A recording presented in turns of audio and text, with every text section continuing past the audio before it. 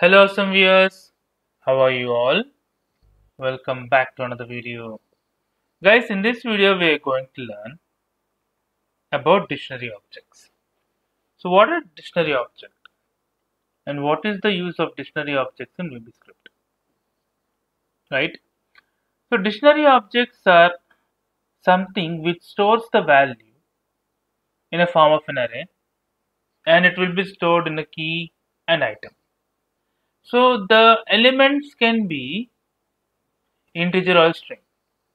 So in arrays, we can create an integer array, we can create a string array, right?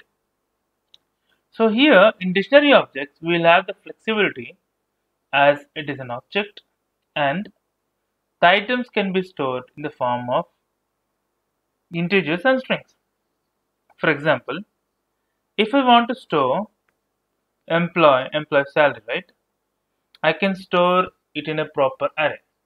I can tell a got a gets 10000 rupees per month. B gets 20000 rupees per month. And i can retrieve that information based on the keys of an employee or the name of an employee. So without further ado let's see from the beginning what are dictionary objects and how to create a dictionary object. So let me explain you. We use set for creation of an object. You would have seen in the previous videos I have, I have used set. The same set will be used here.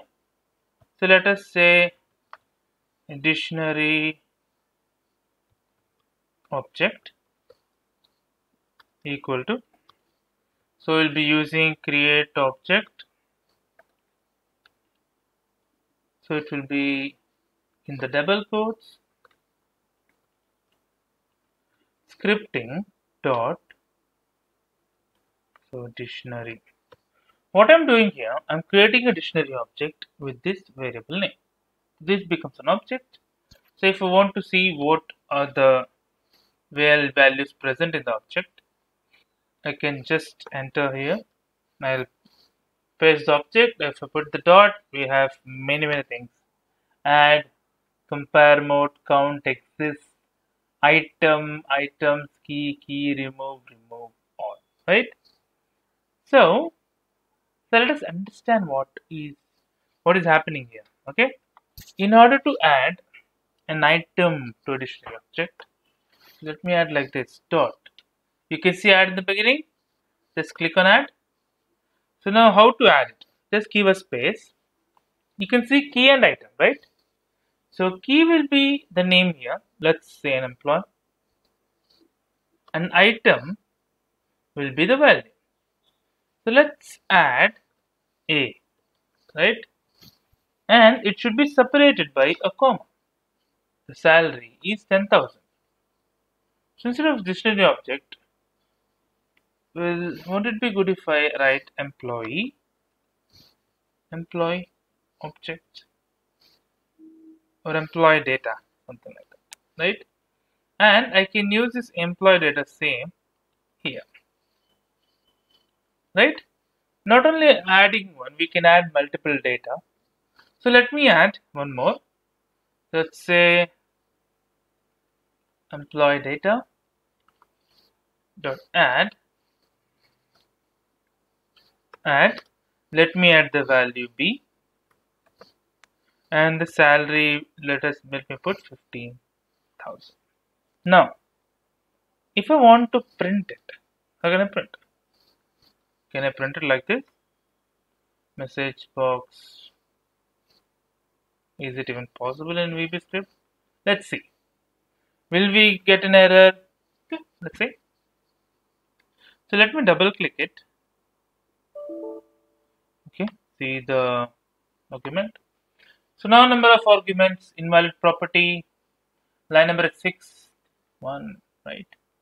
So yeah we cannot print it like this. So what do you how can you print it right? Let us see employee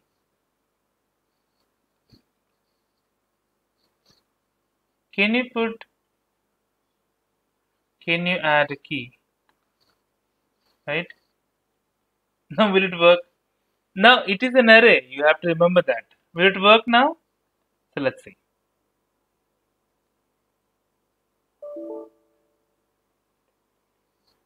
See again the same error. Object does not support this property.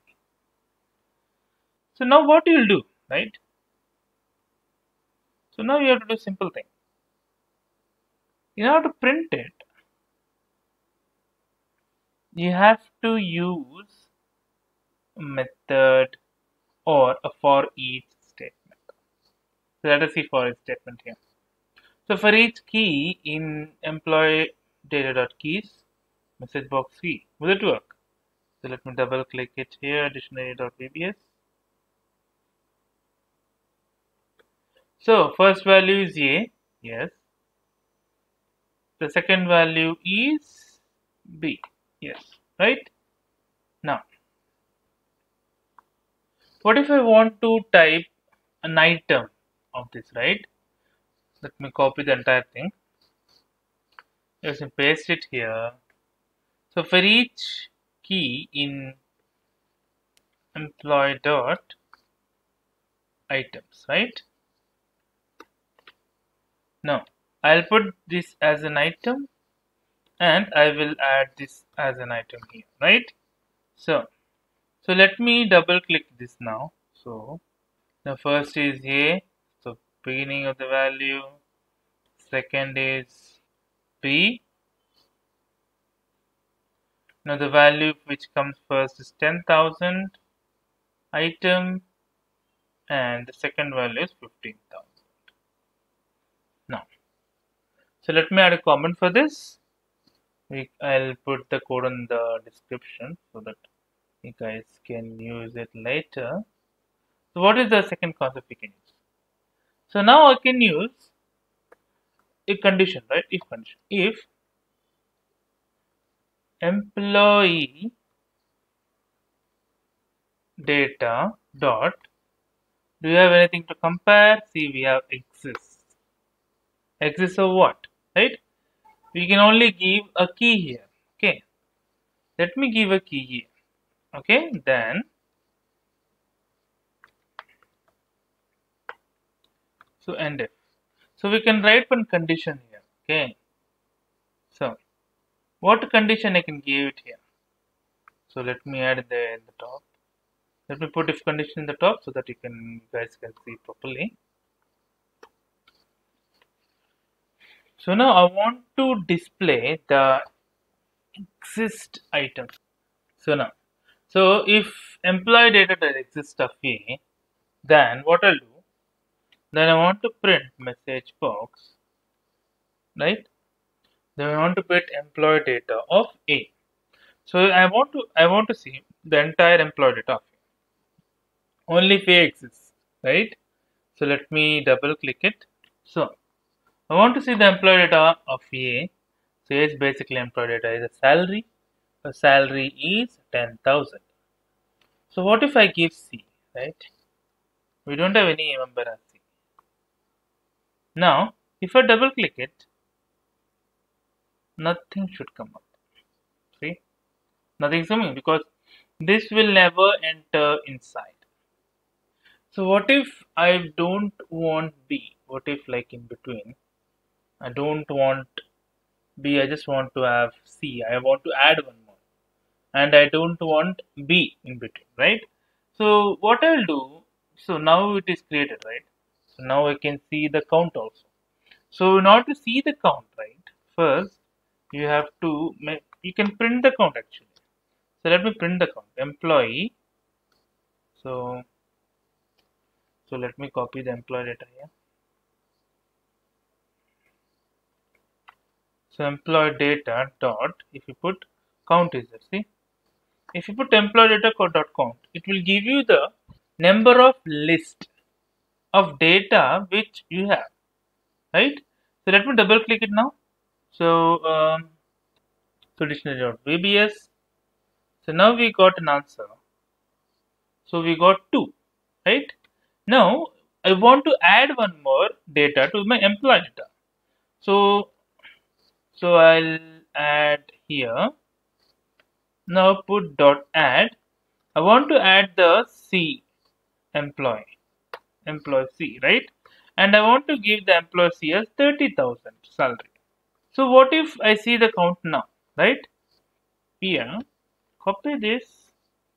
After adding just print the count. See? Now let me double click dictionary.vbs so initially the count is 2 afterwards after adding one more value the count is 3 so now I got one condition in between like let's say one's requirement like okay so I got now one requirement stating employee has now resigned and and I want to remove the and I want to remove the employee. This employee is no more. So I don't want to display the data of P. So what I can do? So we have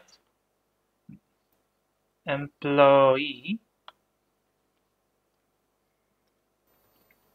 data dot and okay I don't know if you guys can see or not. Let me put this on the top. So yes yeah.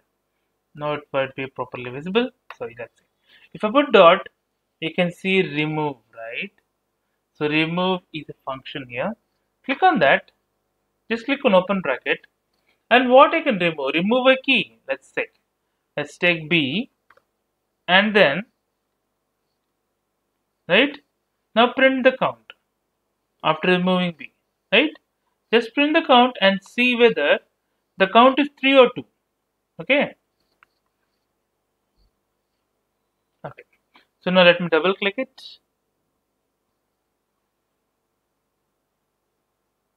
Dictionary object see the count is now 2 so what are the items present? In order to see the items you have to do it again. See for each for each key in employee data dot keys. Okay? So now you have to again print and see whether the key is A and C. Not B because we have removed B. Right? So let me let me double click it the dictionary.vbs so the count is 2 the first value of the count is a and the second value of the count is c. So what if all the employees in this particular company have resigned right? So what we have to do right? We can write like this. So employee dot okay let me put this in the beginning again. So now employee dot we have a method called remove all which doesn't take anything. It removes basically everything. So now let us now remove right? Let us comment let us comment this right? Let me take this comment the message box and let's see the count after removing everything right let me double click it.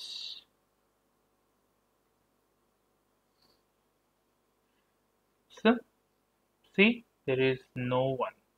So this one basically giving the value here. And you can explore more and more options. As we have many options described here. We have keys. We have items. We have remove we have remove all method. I'll be adding the necessary steps. So what is remove all? What is the count? How can how we can add an employee? How we can delete the one by using remove? How we can see the actual items, actual employees present in this dictionary object, etc. So I'll be adding it in the description. If you guys need further clarification, let me know in the comments below. For now, that's it for the video guys. If you like the video, please click on like. If you're a new viewer, please click on subscribe. Till then guys, take care. Have a great day. Bye bye.